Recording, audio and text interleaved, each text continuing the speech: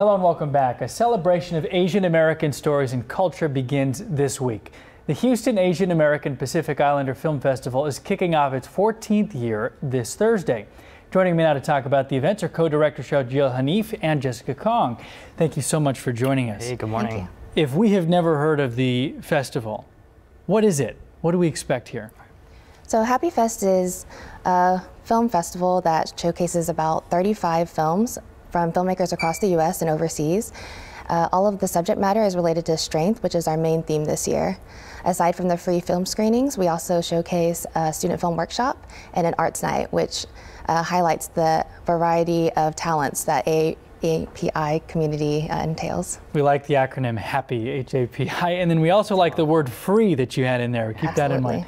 So what films are we expecting this year? Yeah, so we're going to highlight a few of our favorites. Um, first up, we have Signature Move. Um, it's, a, it's a film about um, a young woman who sort of falls into the world of lucha libre wrestling, um, of all, yeah, of all things, um, but also finds herself falling in love at the same time. Uh-huh. so yeah. Love and lucha libre wrestling. Yeah, yeah. so uh, it's, you know, it's a little bit of comedy, a little bit of romance, a little bit of action, so we think people are going to have a lot of fun with that one. Um, next up, we have I Can, I Will, I Did.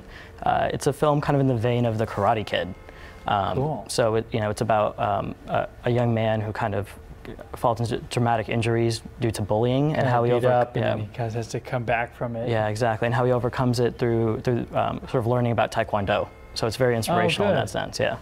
Um, and then in addition to that, we're, we're showcasing a documentary called Drawn Together. Um, it's about, or it showcases three different artists from um, sort of underrepresented communities in the comic book industry and how they um, sort of use their art and um, the characters they create in comic books to kind of break down stereotypes.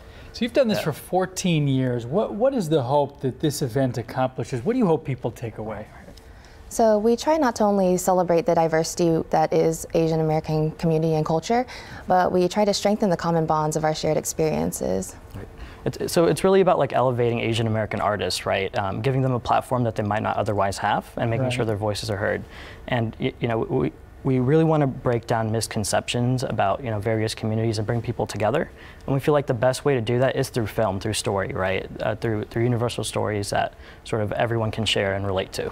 An important event in the most diverse city in the uh, in the states to do that. And you 14th year, you've done this many times. You get a a lot of people coming out, I'm sure. Absolutely. And there was the word free in there, but you have other stuff going on. Yeah, so like I mentioned before, the student film workshop, that's completely free for ages 12 to 18. We actually still are taking sign-in uh, applications, so if any kids are interested, they get to learn from an expert, and they get should get to showcase their short video at the end of our festival on Great. the big screen. For the kids, yeah. We have a, a graphic to show people from May 31st, the opening night, then it's June 1st to June 8th, nine days here.